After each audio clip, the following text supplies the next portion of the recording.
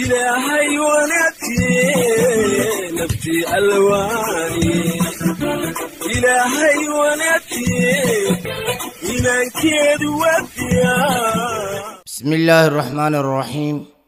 الحمد لله رب العالمين. والصلاة والسلام على أشرف الأنبياء والمرسلين.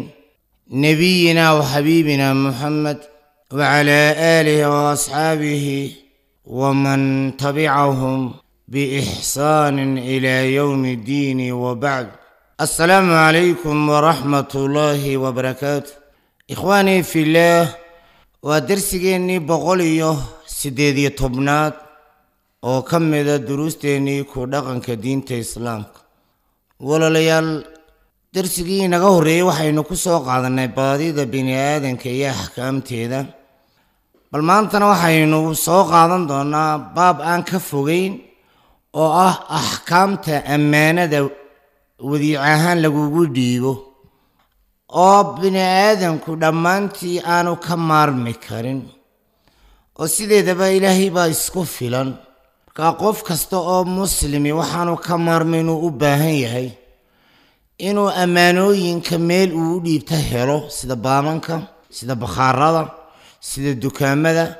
Ammaanadaasi amba ha noqoto mid uu u soo noqonayo amba mid muddo u oolaysa oo had iyo jeer dee waxyaabaha baamanka la dhigtay adduunyada laysu dhiibta waa ammaano loo baahan yahay markii loo baahdo in laga helo. Bal haddaba ammaanada ilaahay subxaanahu wa tacaala marka uu ka hadlayo aayadda ku jirta suuratulbaqara laba boqol iyo saddex iyo siddeetan إلهي وحليها جل وعلا فإن أمن بعضكم بعضا فليؤدي الذي اؤتمن أمانة أمانته. إلهي سبحانه وتعالى آيضا آيضا آيضا كهر ريسي أو دين تكهل ليسي الله وحو فريدتك إسلام إن قرال الله كلا سميستو مرخاتنا الله يالو ka ilaahay aayaddanna wuxuu leeyahay fain aamina bacdukum bacdan. Haddii barhkiin barhka kale uu aamino oo aanay jirinba qoraal iyo markhaati toona falyu-addi ha celiyo oo ha u guto alladii utumina ammaanatahu qofkii ammaanadan loo dhiibay sidii loogu dhiibtay ha u celiyo ammaanada. Aayad kale ilaahay wuxuu leeyahy jalla wacalaa oo ka mida qur-aankeena kariimka gaar ahaan suuratu nisaa ina allaha ya'murukum an tu'addu alammaanaata ilaa ahliha ilaahay wuxuu leeyahay jalla wacalaa aayaddanna waxaa laydin farayaa sideedaba wixii ammaano ah in loo celiyo ciddii idiin dhiibatay oo macnuhu wuxuu ku ururaya rabbi wuxuu ina farayaa qof kasta oo ammaana cid ay agtiisa tahay maalinta la yidhaahda keen waa inuu soo celiya rasuulkeena maxameda sala allahu calayhi wasalam sida uu abu daa'uud ku sugan iyo tirmadi waxa uu yidhi oo laga warinaya can abi hurayrata radia allahu canhu qaala qaala rasuulu llahi sala allahu calayhi wasalam addi lamaana ilaa man i'tamanak ammaanada u celi ciddii kugu aamintay ولا تخن من خانك. أذو هدي عدوك خيام سه خيامين. كوذي عدا. فلغاهان وشي كستو أو لو ديبا عدي عد آن لهين. أو لوغو ديبين إلاليسو شريهان كما فوق. أو هو المال الموضوع عند الغير ليحفظا إن واهنتي لو ديبين عد كلاسي إلى ليو وكيلهان waxay leeyihin culimmadu cidda laga qabanaya ammaanada iyo cidda loo dhiibayaaba waa cid waa shaksi tasarufkiisu uu furan yahay uu bannaan yahay markaa sabi iyo safiih iyo majnuun ammaano lagama qabto ilmo yar iyo qof aan caqligiisu ku filayn oo mubadira iyo qofkii waalan sidoo kale inta saddexdaasna waxba looma dhiibo saddexdaasi hadday ammaano kuu keenaan ha ka qabanin. Haddaad waa in qof caaqila oo baaliqa oo rashiida loo dhiibaa ammaanada. Ka dhiibayaana waa inuu sidaasoo kale yahay. Ammaanadii haddaba marka laysu dhiibtana wuxuu xor u yahay mid waliba. Wakhtiga uu doono inuu odhan karo igahoo ammaanadaadii. Kii loo dhiibay?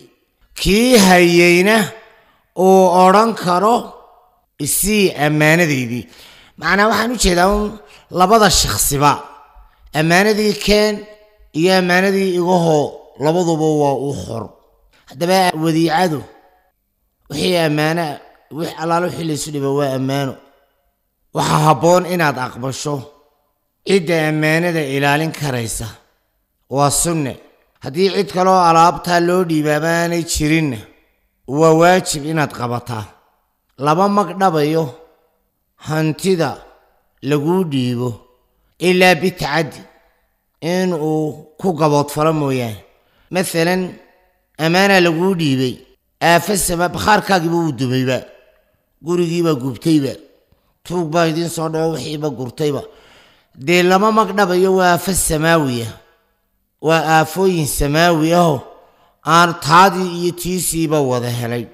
Mar hadday iyaddu ammaano tahay lagaama magdhabanayo haddaba haddii ay isku qabtaan maalan waa tacaddi adiga kaa yimo meeshaan ku idhi dhig baana digin.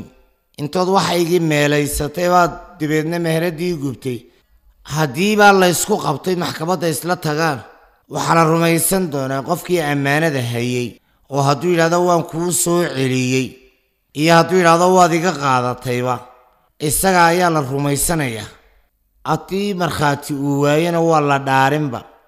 Haddaba waxaa jira bay yidhahdeen culimmadu suurooyin dhowr ah oo ilaa tobana oo la magdhabayo.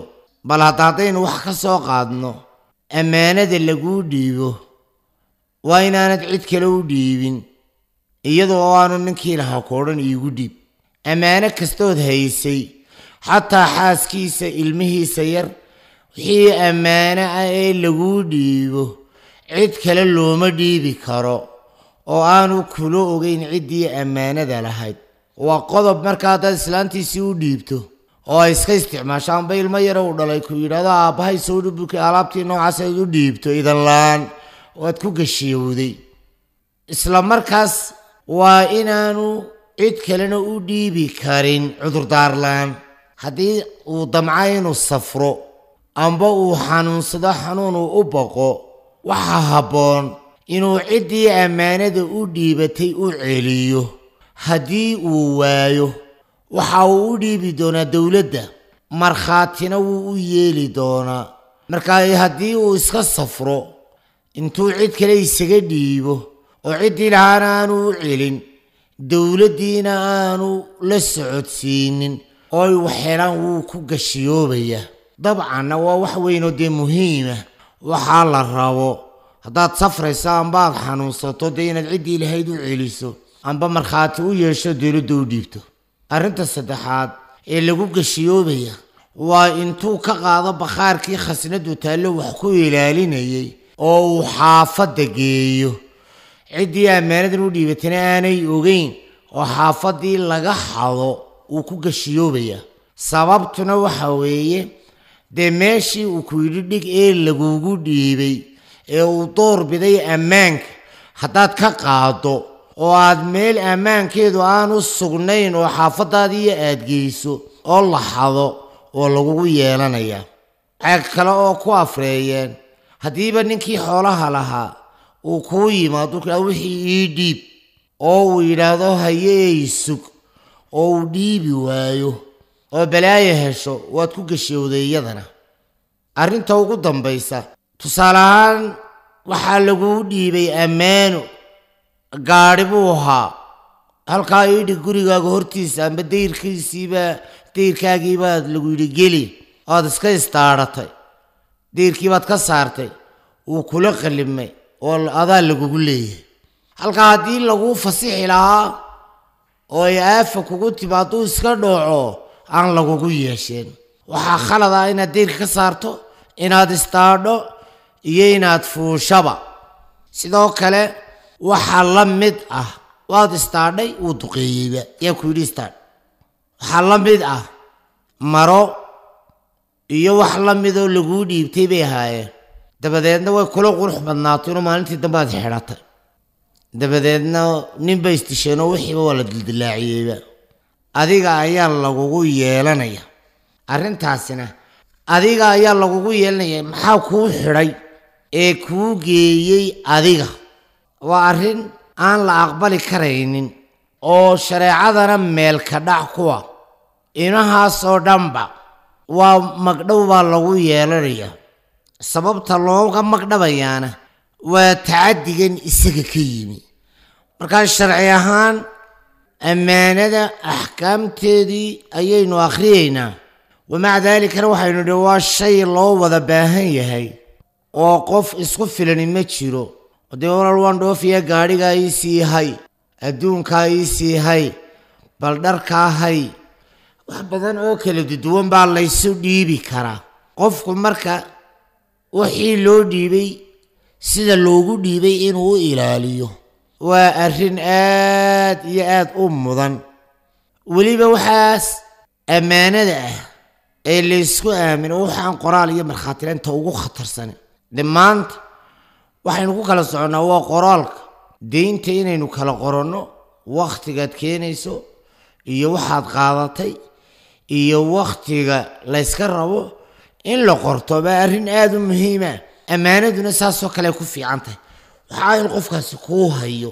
Sidaa iyo sidaa ay yihiin. Waa ammaano laguu wadeeco dhigay adiga. Matalan haddii qofku uu safar la socdo oo uu xanuunsado waxaa waajiba inuu dardaarmo. Oo waxaanuu sito cid u dhiibo. Dardaaranka iyo ammaanada uu soo dhiibayna qoraal ku soo gudbiyo. Weliba culimmadu waxaa sii fiican bay yidhaahdeen in qoraalka iyo iyo iyo ammaanadan aad soo dhiibayso kale qof loo dhiibo oo dee dadka lama maleeye haddiiba qoraalkii la jeexjeexo idhaa wuu iga lumay hantidiina uu badh lunsado dee dhibteeda ay leedahay marka waxaa fiican bay yidhaahdeen ka taxadir ahaan in qoraalka iyo ammaanada aan qof loo soo wada dhiibin sideedaba wadiicada ammaano ah waxaan laysu dhiibayo mood iyo nool ee inaad ilaalisood cid gaadhsiiso amba haysa lagugu dhiibay. Ayaa yaddu ammaano ah. Taasaa ammaano ah. Ammaanaduna aad bay u culus tahay. Oo waxaa soo gelaya ammaanada. Xilka aad ummadda u hayso cadaaladooda ardayda aad macallinka u tahay cadaaladooda iyo imtixaanaadkooda iyo haddii ay helaan dee koras dabadeedoo bilaasha sida cadaalad loogu samaynayo. Waxaa kaloo oo ammaano ah waxaa ilaahay inagu addoonsaday sida salaadaha iyo maydha iyo weysada. Inaa caradna alamaanata cala asamaawaati waalardi faabayna an yaxmilnahaa aayaddaas.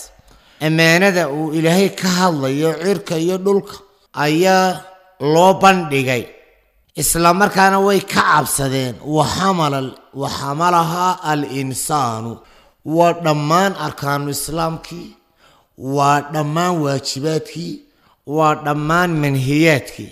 Marka waa arrin mudan dhammaanteen inaynu ka fiirsanno. Ilaah waxaynu weydiisanaynaa hadba diinta islaamka intaynu baranno inuu nagu anfaco bal weynoo dersigan dersiga xiga. Wasalaamu calaykum waraxmat ullaahi wabarakaatu يا حيوانتي نبتي ألواني. إلى حيوانتي إلى كيد وديا